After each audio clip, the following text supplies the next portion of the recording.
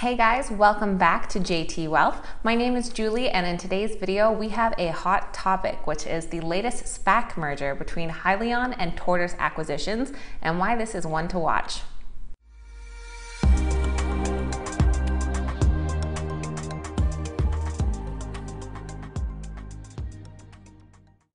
Okay, so welcome back, guys. Thank you for tuning in. Thanks to all the subscribers lately. And if you are new here, please remember to hit that subscribe button and give us a like below.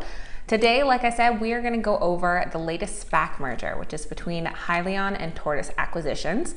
First, we're going to quickly go over what exactly a SPAC is as well. We've seen a lot of these videos out there lately, so we just want to break it down for you so you understand exactly what is going on. After we cover off what a SPAC is, we are going to go through exactly how this merger with Tortoise acquisition is going to work and also how it compares to another SPAC merger that has happened recently. All right, what is a SPAC? So right from Investopedia.com, you can see it's a SPAC is a special purpose acquisition company. These are formed to raise money through an IPO offering to buy another company. So these are generally formed by investors or sponsors who have expertise in a particular industry or business sector, and they normally have an intention of pursuing a deal within that same sector as well.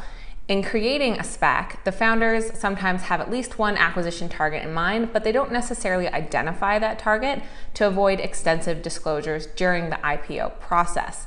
This is why they're called blank check companies, because the IPO investors have no idea what company they'll ultimately be investing in. The investors that put their money into a SPAC don't have any idea what company they'll ultimately end up being invested in. They just kind of know that area or particular industry. Uh, the SPAC has two years to complete an acquisition, or afterwards, they must return those funds back to the investors. So, why would a company choose to merge with a SPAC instead of offering their own IPO? The answer is just the ease of the process and the expedited timing that it offers them. For them to go through becoming a publicly traded company, it can be upwards of a year long process to get that IPO. Compared to traditional IPOs, SPAC IPOs can be significantly quicker. Uh, due to their lack of traditional business operations, filings for a SPAC IPO are significantly shorter and can be prepared in a matter of weeks. By the time they merge with the company, they are able to offer their IPO right away without having to go through that whole traditional process. This brings us to the Hyliion merger with Tortoise Acquisitions. This merger was reported on June 19th, and they're expecting the merger to be completed by the end of Q3 2020. So let's take a look at what Hyliion is and what made Tortoise Acquisitions choose to invest in them. So Hyliion is a company that was founded in 2015. They are an EV truck company, and these guys are primarily focused on converting existing Class 8 vehicles, which are your typical semi-trucks that are on the roads, uh, to hybrid electric drivetrains. Their technology to convert the standard diesel truck to a hybrid EV is compatible with a conventional semi truck that's on the road today. This enables their customers to quickly realize lower carbon emissions and significant lower cost of ownership. At the same time, they're able to make the move towards electric without having to replace their entire fleet with brand new semi trucks. Obviously, being able to modify an existing truck rather than having to buy a whole new truck will rapidly accelerate the near term adoption of these electric vehicles into the commercial vehicle market.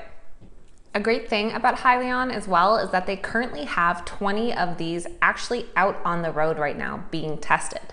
Aside from this drivetrain modification, they're also working on coming out with their own full truck, uh, the Hyliion ERX powertrain, which is going to be a fully electric Class 8 truck that recharges itself by efficient driving. So that'll be coming out in the next few years as well. When it comes to all of this transition from the standard diesel truck to the EV technology, it is important to consider how the actual truck drivers are viewing this transition. So here is a great video. This is from the Asian Mai Show official trucking show. Uh, and he is a driver who showed up at Hyliion and was able to actually go on a ride along with a truck driver in a current EV truck setup. He really gets the inside look at it. Um, and you can really tell that the driver, who has also been truck driving for 20 years, did not find it an uncomfortable change. It was a pretty seamless transition. So check out that video. We will have the link to it down below in the description. Now, what does this merger mean for Hyliion? At the end of this merger, the pro forma implied market capitalization of the combined company is over $1.5 billion. Hyliion will have about $520 million in cash to fund growth uh, based on the cash held in the trust, and another 325 million in PIPE proceeds. These proceeds will be used to fully fund the commercialization and mass production of the company's electrified powertrain solutions. Once the merger is completed, uh, Tortoise Acquisitions, which is currently SHLL, will become the newly combined company on the New York Stock Exchange under the ticker HYLN. Okay, so why does this merger have us so excited? You can see here on the graph, uh, it was hovering around that $10 mark, which is the typical initial stock price for a SPAC. Once the announcement of the merger came out, you can see right there on June 19th, this thing spiked up, went to a high of nearly $35 and is now sitting around that $24 mark. People are getting really excited about this because we saw a very similar spike in another recent merger with Nikola. So let's take a look at that. Here is what Nikola did with their merger with Vecto IQ. So their merger was announced back in March, and you can see the small uptick on that Vecto IQ share price, uh, which then became Nikola on the day of the merger. After the merger was completed, we then see the price soar upwards to a closing high at one point of about $80. So Nikola is also in the electric truck company sector there. However, they have yet to test their technology in the real world. They were able to send their share price this high while not actually having a truck on the road today.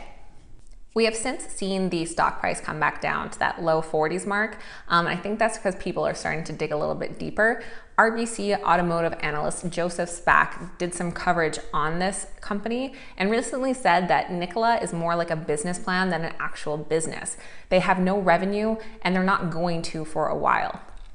In comparison, we've already mentioned that Hyliion already has products on the road going through that testing. They have a much more solid plan and capability for that mass adaptation of their product as well. Because of this, I think we're gonna see a similar soar in the stock price upon completion of that merger. But beyond that, I think we're gonna have a much more sustainable growth for the company too. All right, so that's it. That is my summary. I hope this helps you understand SPAC companies more and the opportunities that they can present. Uh, full disclosure, I have bought into the Hyliion stock myself. My average price is sitting around $20.54 per share. I'm really excited to see what it does. Um, yeah, let me know your thoughts. Have you invested with SPACs before? Are there others that you're excited about? Just leave a comment. I always love to hear what you guys are thinking. Please remember to subscribe, hit that like button, and have an awesome day. Cheers.